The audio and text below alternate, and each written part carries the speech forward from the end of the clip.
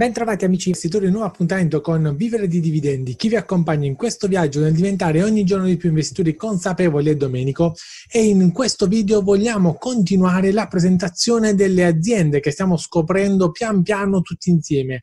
Abbiamo già infatti esaminato sei aziende, ve le lascio qui sopra nella playlist dove appunto vediamo gli amministratori delegati che presentano le loro rispettive aziende.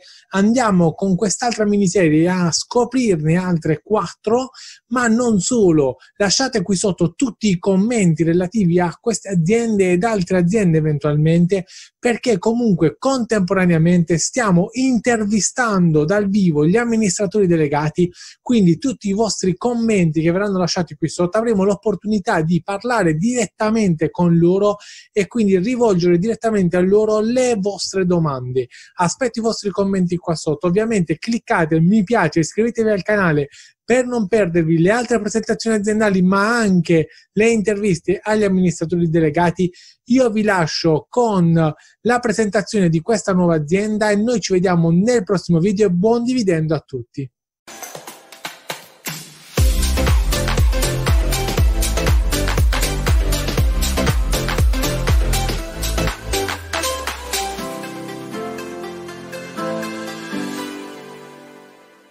La nostra azienda è industrial, quindi abbiamo il nostro mm, Maurizio Bertocco, eh, amministratore delegato e presidente di ILPRA, eh, che è un industrial, ma è un industrial molto tecnologica. Quindi ecco perché eh, l'abbiamo selezionata nel campione delle società industrial AIM. Riteniamo che sia un'eccellenza eh, del, nella rappresentatività del, dell'AIM sul mondo industriale. Mondo industriale che eh, si è eh, rilevato eh, per noi che seguiamo l'AIM dalle sue origini che insomma abbiamo sempre creduto su questo mercato come ben Maurizio sa e tutti gli altri sanno, insomma è un settore, quello industriale, che si è affacciato sul segmento, sul mercato AIM Italia un pochino più tardi rispetto alle altre, alle tecnologiche, al mondo della green economy però direi assolutamente oggi con una buona rappresentatività, l'abbiamo visto nel campione eh, delle società appunto industriali e oggi qui abbiamo una rappresentazione del settore eh, di eccellenza. ILPRA eh, infatti è attiva nella produzione e vendita di materiali per il confezionamento di prodotti alimentari, cosmetici e medicali. È stata fondata nel 1955, quindi un'azienda storica ed è una dei principali player nel settore del packaging grazie a un'ampia gamma di macchine e soluzioni tecnologiche tecnologiche all'avanguardia nel settore del food, quindi food e technology io direi. E nel 2020 il gruppo ehm, intende continuare il proprio percorso di crescita consolidando anche le acquisizioni eh, che sono state effettuate nel 2019, no? ben quattro acquisizioni più un'altra recentemente, quindi eh, direi che prosegue questo percorso annunciato in quotazione a consolidamento della fiducia insomma eh, nel management che sta rispettando assolutamente quanto ehm, assegnato, quanto eh, confermato da, agli investitori in fase di quotazione. Quindi mh, sta valutando ulteriori operazioni di M&A per ampliare ancora la catena del valore e dei servizi tecnici eh, al settore industriale di riferimento. La società si è quotata il 15 febbraio del 2019, quindi da poco ha compiuto un anno, ha raccolto in IPO 5,3 milioni di euro con un prezzo di quotazione di 2,1 euro per azione. Il 2019 è stato un anno con una crescita importante, quindi il fatturato ha segnato 32 milioni di euro con un più 12,8% rispetto al 2019 2018 e un'EBITDA di 4,5 milioni di euro, quindi in termini di marginalità relativa a un dato superiore alla media del campione industrial di Anim. La capitalizzazione complessiva è di 24,3 milioni di euro, il prezzo attuale 2,02 e i controvalori medi giornalieri sono di 7.033 al giorno. Eh, abbiamo, ehm, noi copriamo il titolo come la nostra divisione di analisti finanziari, eh, quindi con la divisione Airtop Research eh, e ehm, i nostri analisti hanno evidenziato e valutato l'azienda con un target price di 3,10, quindi eh, con un potenziale upside eh, di più eh, 36, di 53% eh, del titolo rispetto al prezzo corrente. Quindi eh, io lascio eh, la parola mh, a Maurizio Bertocco, amministratore delegato e presidente di ILPRA. Prego. Buongiorno a tutti. Io sono Maurizio Bertocco, come diceva presidente di IPRA SPA il PRSPA è una realtà industriale che opera nel settore del packaging, del confezionamento, confezionamento tecnologico in vaschetta, eh, in contenitori di materiale plastico, vetro, ceramica, carta, ma principalmente in atmosfera protettiva. Eh, prima di spiegarvi bene che cosa facciamo, quali sono le nostre intenzioni, vi facciamo vedere un breve filmato. Allora, un filmato, abbiamo rinunciato al solito filmato istituzionale, abbiamo fatto un filmatino Covid, no? molto semplice, che però fa capire qual è stata la realtà in questi giorni, tenendo presente che noi non abbiamo potuto fermarci, facciamo parte della filiera, eh, della filiera eh, alimentare, quindi abbiamo sempre lavorato, chiaramente con delle difficoltà, chiaramente non è stato facile lavorare, anche perché per noi lo smart working è quasi impossibile, o meglio, lo abbiamo potuto fare con eh, personale della, eh, dell'ufficio, il personale commerciale, ma sicuramente no con il discorso produttivo. Se la regia fa partire il filmato.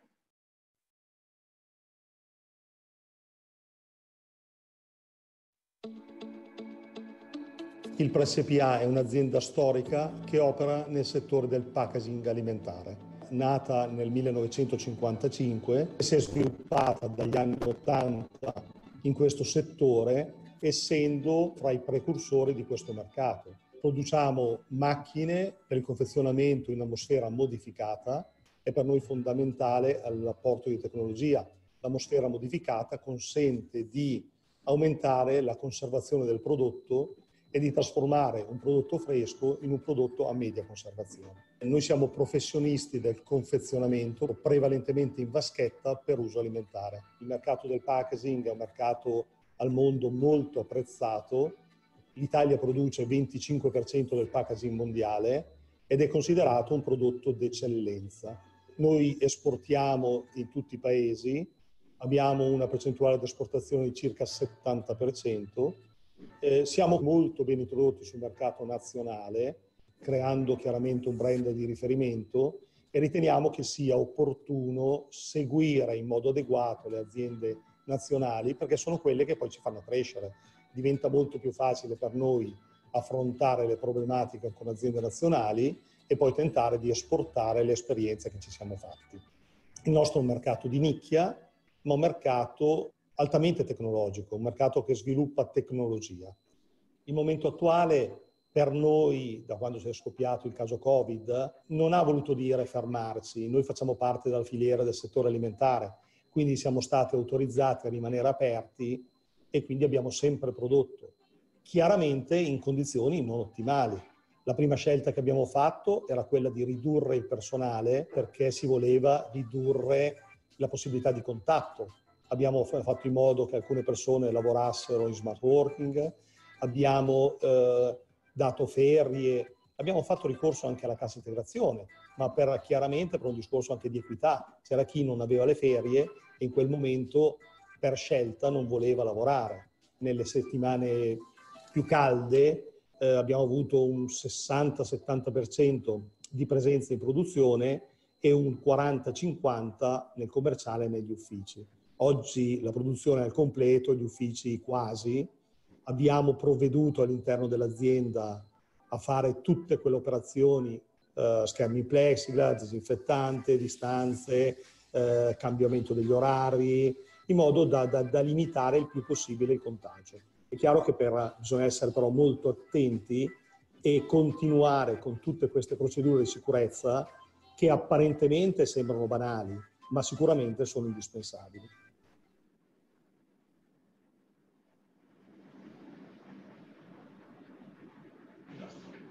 Bene.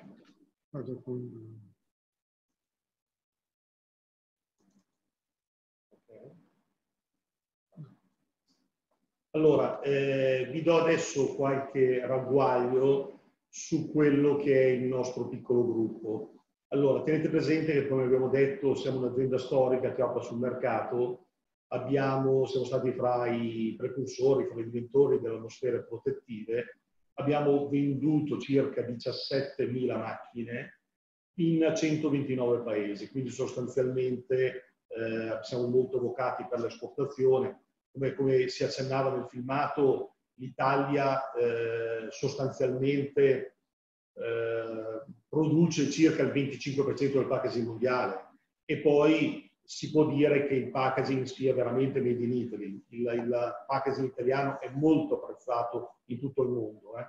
Allora, eh, quest'anno abbiamo fatto, un, abbiamo visto qualche numero, un fatturato di 32 milioni, un eh, valore della produzione di 34, un EBITDA di 4 milioni e mezzo, pari al 13,10%. Sostanzialmente il nostro gruppo è composto da eh, Ilpra SPA, che è l'azienda che produce macchine per il packaging, l'azienda Strema, che produce cotton fioc, macchine per la produzione di cotton fioc. Anche questa azienda decisamente innovativa, tenete presente che oggi è l'unico produttore eh, europeo di macchine con bastoncini in cartone. Eh, tenete presente che le macchine per il cotton fioc sono macchine con un contenuto tecnologico elevatissimo, eh, sono macchine che producono da 2 a 3 mila cotton fioc al minuto. E il fatto di produrre con i bastoncini in cartone recependo noi italiani, chiaramente poi tutta la comunità, eh, il discorso della, del divieto della plastica ci ha sicuramente molto favorito. Successivamente si vede l'azienda Veripac, che è stata una delle acquisizioni con uh, i fondi raccolti dalla quotazione, l'azienda Veripac che opera sempre nel settore del confezionamento, eh, produce termoformatrici, quindi sempre confezionamento in vaschetta, sempre confezionamento in atmosfera protettiva, ma producendo anche il contenitore. Eh, segue un'altra acquisizione post quotazione, la Eltec. Eh, Eltec è un produttore di fine linea, quindi abbiamo pensato di integrare alle nostre macchine da produzione tutto quello che è il fine linea, quindi il riscatolamento, la, la, la palettizzazione, allo scopo di vendere una linea completa vendere un sistema. Eh, IPT, altra acquisizione, si trattava di un nostro distributore che abbiamo preferito portare al nostro interno. Eh, tra l'altro, oltre al nostro prodotto, distribuisce anche alcuni altri prodotti di aziende eh, complementari alla nostra.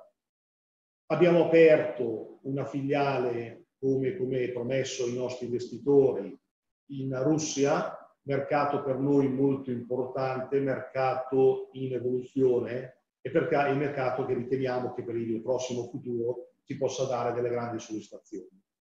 Eh, al di sotto abbiamo eh, il Hong Kong, eh, Hong Kong, mercato adesso un pochettino travagliato con tutti i problemi che ci, ci sono, è chiaramente però la testa di ponte per il mercato cinese, eh, mercato ancora per noi un po' acerbo, ma sicuramente nel futuro diventerà eh, un mercato interessante. Molto più interessante in questo momento il Middle East, eh, proprio in questo momento non tantissimo perché il Covid là si fa sentire e c'è, c'è, c'è, è impossibile praticamente spostarsi nelle varie nazioni e gli spostamenti sono molto più complessi che da noi, però sicuramente un mercato molto molto interessante che ci ha dato ottimi risultati sia nel 2018 che nel 2019 e riteniamo ce li possa dare anche nel 2020. E vabbè, abbiamo già accennato di Veripac. Veripac eh, ha una filiale in India, mercato per noi molto importante. Tenete presente che il mercato indiano, eh, capite anche voi quali sono le dimensioni del mercato indiano, eh, e la retratezza nel, nel metodo di conservazione del prodotto. Oggi è in atto eh, una spinta governativa a confezionare il più possibile. Noi siamo fra le poche aziende presenti con, delle, con una filiale, effettivamente stiamo raccogliendo molti ordini. Eh, oggi anche loro hanno il problema Covid eh, che sta rallentando un pochettino quello che sono le condizioni di mercato. Nonostante tutto, in questo periodo Covid abbiamo raccolto ordini molto importanti proprio per questa spinta governativa. Tenete presente che in un paese dove la catena del freddo funziona poco e male, l'avere un prodotto che si conserva in modo naturale per effetto chiaramente delle atmosfere modificate o comunque prodotti pastorizzabili o sterilizzabili in confezioni sono chiaramente per loro una soluzione eh, molto importante, una soluzione molto valida. Pensiamo che per i prossimi anni il trend sarà in netta crescita in tutti questi paesi, partendo chiaramente dalla Cina, ma tutti i paesi che sono confinanti e che hanno più o meno le stesse caratteristiche.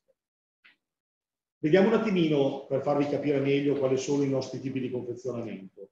Sostanzialmente, se vedete, noi abbiamo una gamma di macchine, sostanzialmente si riassume in quattro modelli, in quattro linee di macchine.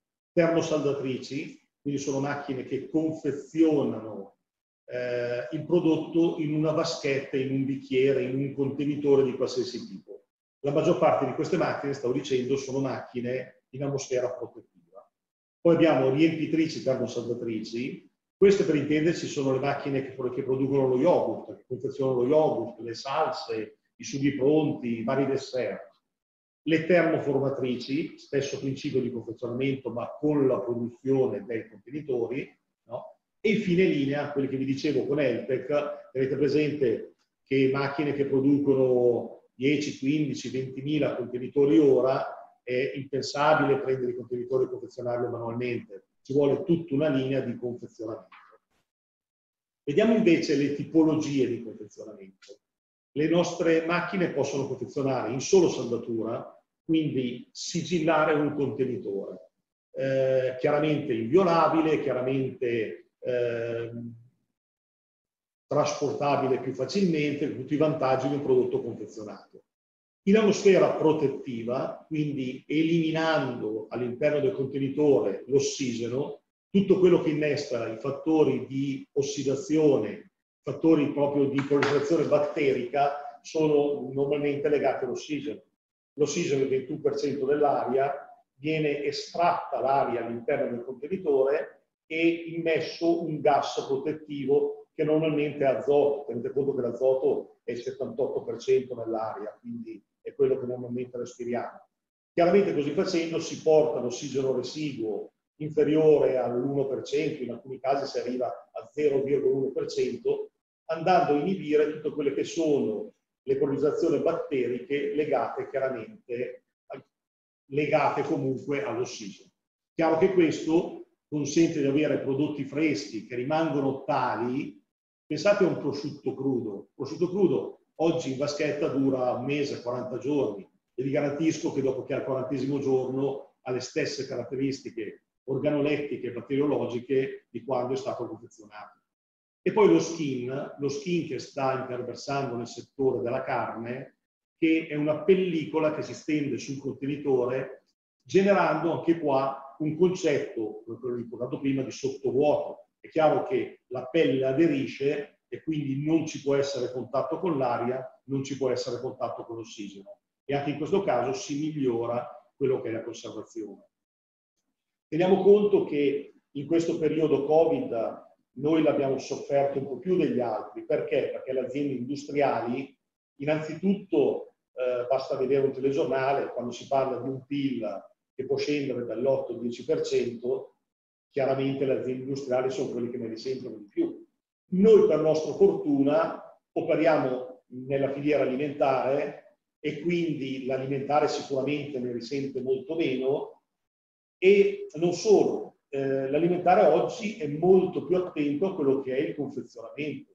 Tant'è vero che noi oggi, per effetto del Covid, possiamo dire di aver lavorato male, di aver lavorato in una situazione di disagio, ma comunque di aver, di aver sempre lavorato, anzi di aver avuto delle opportunità perché molti, tra l'altro, piccolo inciso, abbiamo con il discorso Strema che produce cotton fioc, eh, il cotton fioc sono la stessa cosa che viene utilizzata per i tamponi. Il tampone è nient'altro che un cotton fioc cotonato da una parte sola e con lo stecchino per il prelievo, tempo, e quindi abbiamo avuto anche diversi ordini in questa direzione. Quindi oggi direi che sicuramente il Covid ci ha creato dei grossi problemi, ma sono convinto che per il futuro rappresenterà una grande opportunità grande opportunità dovuta al fatto che oggi la gente cerca sicurezza. Un prodotto confezionato è sicuramente molto più sicuro, un prodotto confezionato ha una durata decisamente più lunga, quindi è più comodo, lo posso conservare in frigorifero, non sono costretto ad andare a fare la spesa tutti i giorni e chiaramente la gente lo sta scoprendo. Oggi chiaramente molto utilizzato, ma sono convinto che nei prossimi tempi sarà ancora più utilizzato.